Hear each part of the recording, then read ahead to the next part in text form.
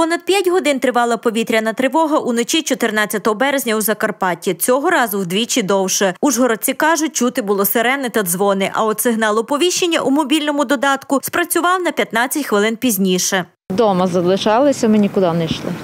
Чули під ранок, але дітки спали, так що ми нікуди не ходили. Я шовгуру позвонила, він сказав, що це якби є тривога, але нічого страшного, так від вікон подальше, щоб сховалися з дітками і все. Ми не ходили в бомбосховище, е, зразу встали, почули сирену, е, але нікуди не йшли, залишалися вдома, там спустилися в коридор, може вийшли з сусідами, там трохи поговорили і все. В принципі, нікуди поки що не йшли, е, просто вдома зачекали. Звісно, боялися, трошки боялись, але ну, ну нормально перенесли. Там батьки заспокоїли, все було нормально, в принципі. Які сховища в новому районі? Скажіть мені, будь ласка, новобудови. Це не без це більше в підвалах небезпечно. Підвалами просто накриє все зверху і буде, не дай Бог, жива могила. Як діяли? Виключили Сиділи світло, хаті. сиділи в хаті. Звичайно, що сиділи в хаті. Було, було трошечки так не дуже приємно, але сподіваємося, що лише цим і закінчиться.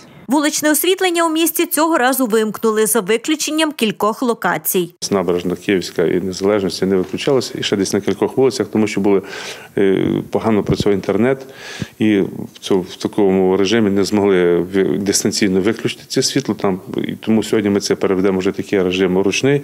Тому, коли буде оголошуватися повітряна тривога, щоб ніхто не лякався, вуличне освітлення працювати не буде.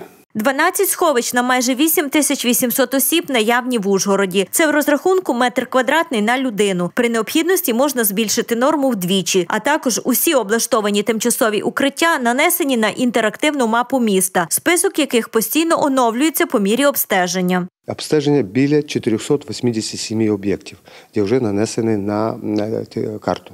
Там же нанесені і парковки підземні. Тобі ж, е, якщо ви бачите е, зв'язочку, ну так, позначки такі, це є сховище. Якщо ви бачите, бачите сильну, синю капельку, це є ОСББ, ЖБК, то підвали, полупідвали домів.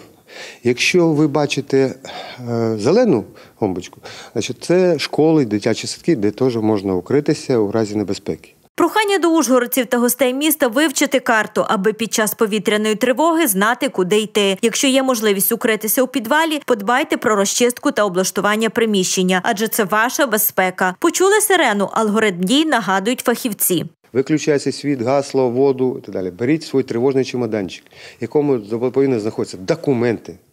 Питна вода, як мінімум, 2 літри на одну особу на добу. Деякі харчування і ліки, ваші ліки, які ви витложені, фонарик, якщо можна, або свічку. І йдіть е, в найближче, найближче сховище або е, найпростіше укриття. От подивіться на свої карти, і ви вже проробіть собі маршрут, алгоритм дій. Ви взяли, прийшли, сіли, подивіться. Теплі речі обов'язково, бо сьогодні холодно було. О, теплі речі. Ну, а там уже кооперуйтесь, кучкуйтесь з людьми. Допомога, я думаю, буде оказана всім. Ось такі пам'ятки роздаватимуть в Ужгороді, аби поінформувати, що робити і куди йти під час повітряної тривоги. Адже і досі чимало людей не знають, як діяти.